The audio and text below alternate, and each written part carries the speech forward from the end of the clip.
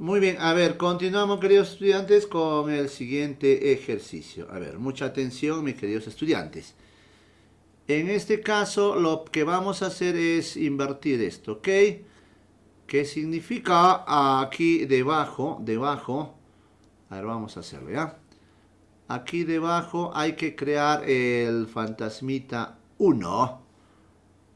Ahí está. Y para que se vuelva positivo el exponente, esto se invierte. Entonces, mira, vamos a copiar el ejercicio. Tendríamos así. Aquí queda n. Y aquí sería, a ver, a ver. Aquí también está quedando así. 2n más 5n. ¿Correcto? Aquí. 1 eh, va arriba y 2n abajo. ¿Correcto? Aquí también 1 va arriba y 5n abajo. ¿Correcto? Eh, aquí vamos a aplicar el xd, el xd. ¿Se acuerdan que esto se multiplica de esta manera? Ok.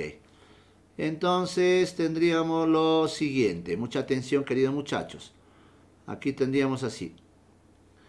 Eh, aquí arriba está quedando 2 a la n más 5 a la n. Aquí multiplicamos, tendríamos 5 a la n más 2 a la n sobre 2n eh, por 5. Correcto. Ya. Por si acaso, esto de aquí, a ver, vamos, mejor seguimos desarrollando aquí, ¿ya? A ver, a ver, entonces tendríamos así. Este, raíz de n, aquí está quedando Aquí arriba está quedando 2 a la n más 5 a la n. Y aquí abajo está quedando, eh, a ver, 5 a la n más 2 a la n. Correcto. Y aquí debajo está quedando, escúchame, 2 por 5, 10 a la n. Ahora, aquí vamos a hacer un pequeño artificio. O sea, aquí debajo voy a colocar el 1 de tal manera que vamos a multiplicar extremos por medios. Ok, entonces aquí tendríamos lo siguiente. Mucha atención. Ahora sí. Ya, arriba quedaría multiplicado 10 a la n por 2 eh, a la n más 5n. ¿Correcto? Ya, a ver, esto vamos a arreglar.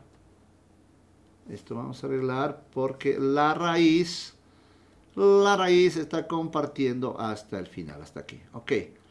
Bien, aquí abajo te está quedando este 5 a la n más 2 a la n, ¿ok?